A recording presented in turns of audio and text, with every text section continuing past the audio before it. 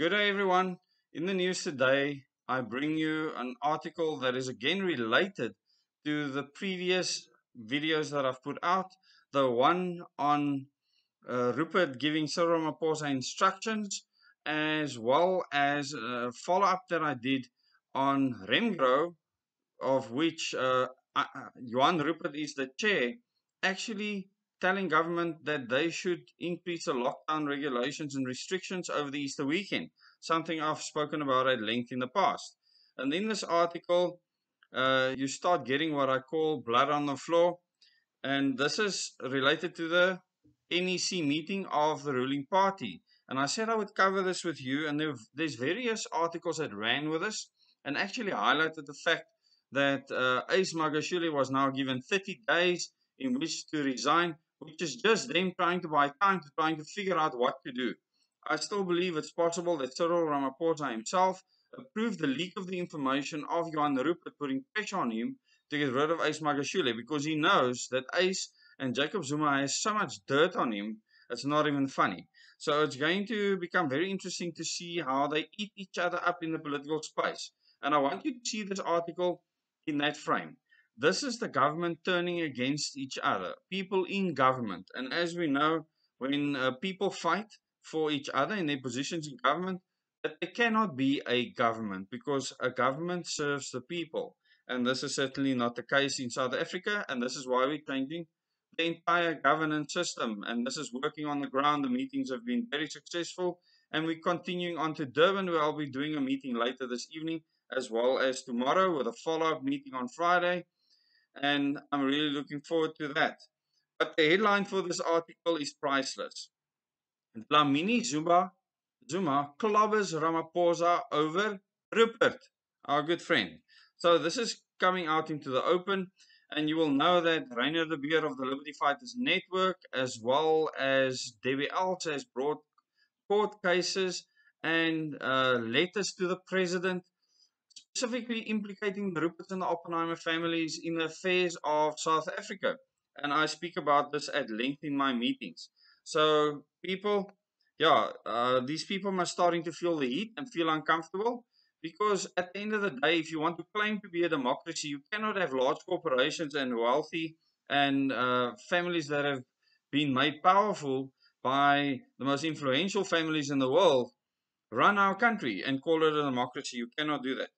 But yeah, Durban, the ANC's National Executive Committee, or the NEC, meeting on Sunday turned into a heated show of force, blood on the floor as I call it, when some of the ANC's top guns to President Cyril Ramaphosa to task over his close proximity to billionaire businessman Johan Rupert.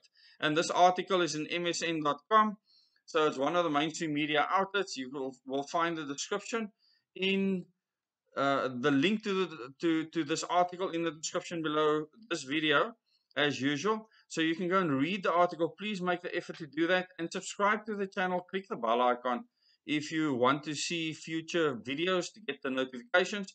And remember to watch in the playlist section the moments in time as well as the question everything series. But let's continue with the article. So the attack here is with regards to uh, Cyril Ramaphosa's failure to implement radical economic transformation. Now, a lot of people in the comments to the last video, they don't understand what they're talking about and what radical economic transformation means. Because the mainstream media can paint it as one thing when it might mean a completely different thing. I'm not siding with anyone here. I love seeing these people annihilating each other, and this is what's happening at this stage and this is very important. What we are trying to do is implement an entirely new governance system, but anyone that will fight the tyrannical new world order being created it can be a bad person that is a friend in times of need. So you also need to consider that at this stage, I will take my chances with people that are fighting for our freedom as well. I don't by hook or by crook. And this is important to understand. So the rapid or the radical economic transformation is, is something that's misunderstood by many people. And you have to understand it with regards to the Rupert and the Oppenheimer family and the many other families that are influential in the country. How they have controlled the finances of this country for decades. and how they have enslaved you in that system. And if you come to my meetings, you'll understand. Those that don't, please go and watch my Question Everything series and Moments in Time before commenting so that you can actually make an educated statement and not look like a fool. The Daily News obtained further information last night from highly placed sources in the party who revealed that senior ANC NEC member and cooperative governance and traditional affairs minister Nkosazana Dlamini Zuma shook the NEC when she asked Ramaphosa why he had failed to implement the ANC's RET policies that were officially adopted at the party's previous elective conference. According to the sources, Ramaphosa was taken to task by Dlamini Zuma while she questioned him over his inaction in advancing and implementing RET policies. Once again, uh, in my meetings, I will explain to you what RET actually means because most people don't understand this. Dlamini Zuma is said to have also questioned Ramaphosa's nearness to Rupert, who was reported by the Daily News to have instructed the ANC president and his trusted battalions to remove the party's Secretary General Ace Magashule. And now, I'm not saying that Ace Magashule is a good person. This is not the question at all. The fact is that Ace has a lot of dirt on Ramaphosa and his faction, and the people who paid for votes, paid for votes at the 2017 CR17 election conference. At this point, the NEC meeting apparently degenerated into chaos when Dlamini Zuma asked the president to explain himself. The meeting turned sour when Dlamini Zuma asked the president to explain his close relationship with Rupert. Those loyal to Ramaphosa roared in protest, saying that Dlamini Zuma was attacking the president, said a source. Well, obviously she is, and with good reason. Rupert did not respond to questions from the Daily News. So Rupert is silent on this, and the presidency did not respond. So they're not denying that news. A lot of people say it's fake news. They don't know what they're talking about. They are beholden to the mainstream media. I feel sorry for you and I feel pity for you. Another source added that it was the first time Ramaphosa had been concerned and requested to explain himself, which brought to light the glaring degree of deep divisions within the African National Congress. This meeting was emotionally drain, draining for some of us. It was the first time the president, and this is a quote, was openly told to explain himself, and it left us with a clear indication of just how deeply divided the ANC is, this source said. Okay, so people, the the chickens are coming home to roost, and what is happening now is people will start ripping each other apart. And these families that have run the country, there's a lot of resistance building up against what they're doing to us. We like our freedom in South Africa and we want them to pack their bags and leave because we don't need, need them or their plans here. They New World Order plans for us to lose our freedom completely in the greater good of humanity. They can go and they can toast it like a marshmallow on the fire and swallow it because I'm not going to eat that nonsense. Dlamini Zuma spokesperson Lungi Mtshali would not comment on the meeting, saying it was up to the ANC to issue a statement and respond to all outcomes of the meeting. And remember, I said earlier, them giving Ace Magashule not seven days but 30 days means they don't know what to do. They're in trouble here. Ace is laughing at them. He can rip them to shreds anytime he wants. And another thing that can happen, obviously, is that he starts a new political party. Uh, Woohoo will have another party uh, amongst I don't know how many in the current system. Because currently, um, if you're not fighting to change the system, uh, you as your party become completely irrelevant to the solution. Different factions are said to have become involved in a tug of war as ANC, NEC members were polarized when the party's integrity committee report was tabled. A source indicated that this was meant to make those who were against Ramaphosa and his alleged plan to suspend Magashule succumbed to pressure, but they pushed back, arguing that the president was a subject of investigations and court processes and thus should also step aside. Very good argument. You're saying that Ace must go. You have court proceedings against you. Why don't you step down as well? So this could become really interesting. So the argument here is if Ace has court proceedings against him and Cyril has for what he did during the CR17 campaign, both of them should step down or step aside. I quote, the integrity report almost collapsed the meeting. This is obviously from the source. Different views were placed before the meeting and others suggested that if Magashule was suspended, the president must also step aside as he is also being investigated by the courts and the ANC itself, said the source. Okay, now this is important to understand.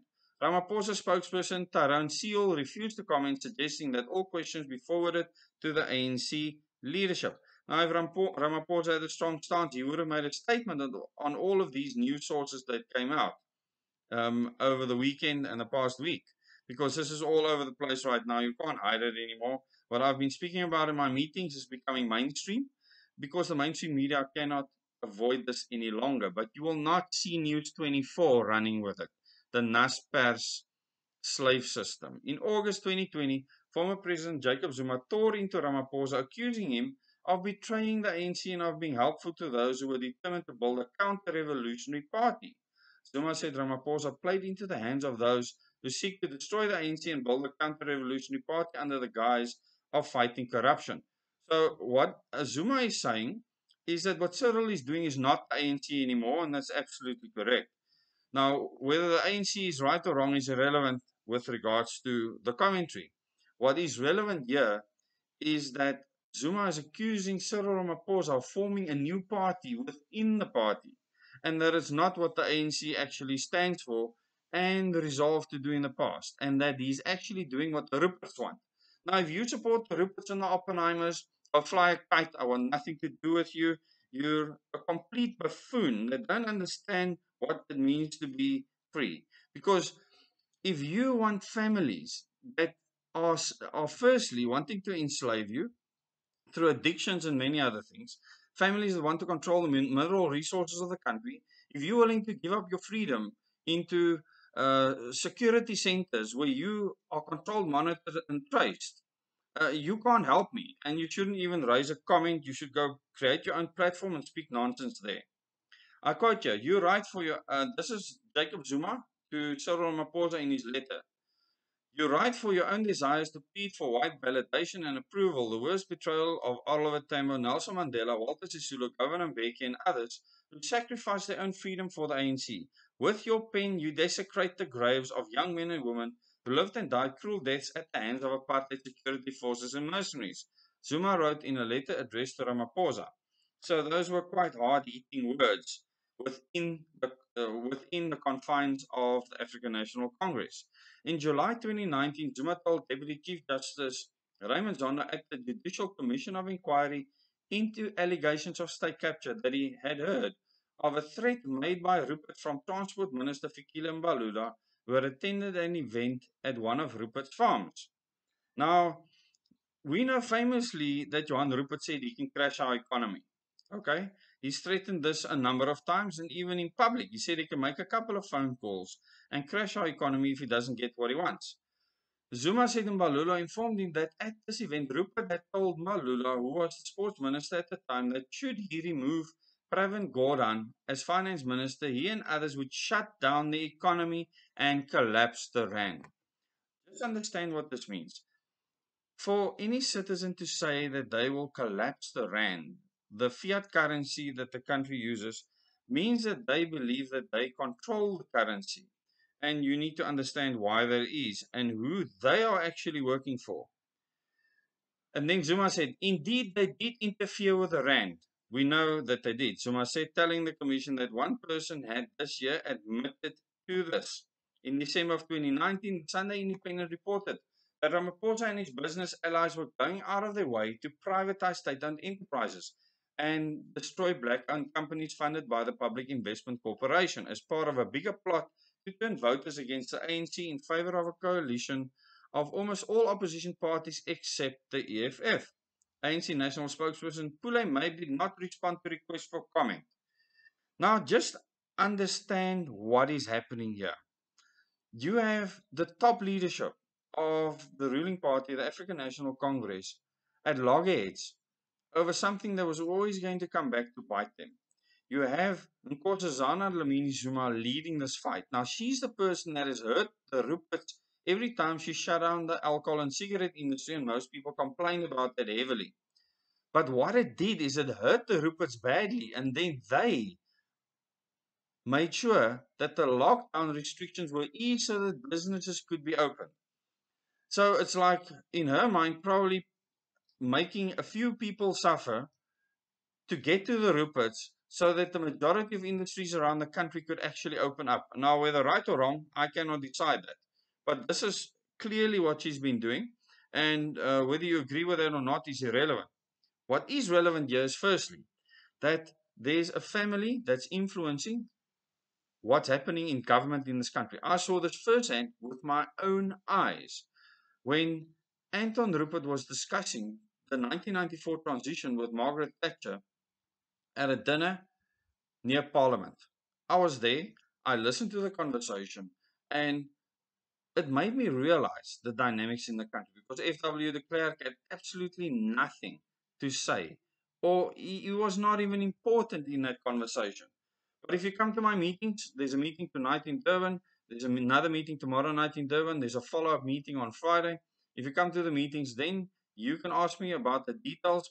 I will speak about the things in the history of the world as well as the future of South Africa that will influence your life and why we need to fight for freedom and why these families that have been controlling this country for so long, the four heavyweight families and their crony families underneath them, why they were empowered to take control of South Africa and has been in control of this country for a long time.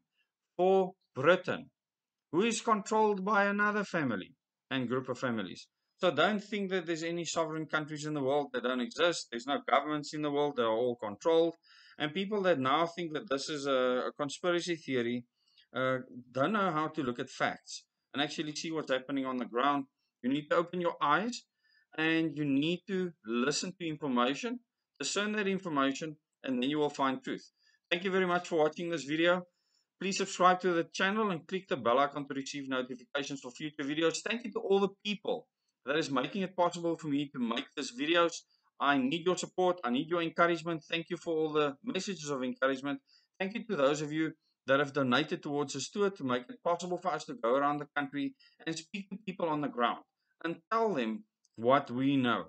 And I want to thank everyone that's given us accommodation and for all the wonderful people that we've met around the country. South Africa is special. Within the world, South Africa is special.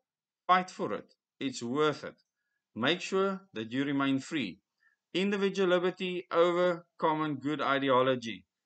See you at the next meeting. Thank you very much. Till the next video.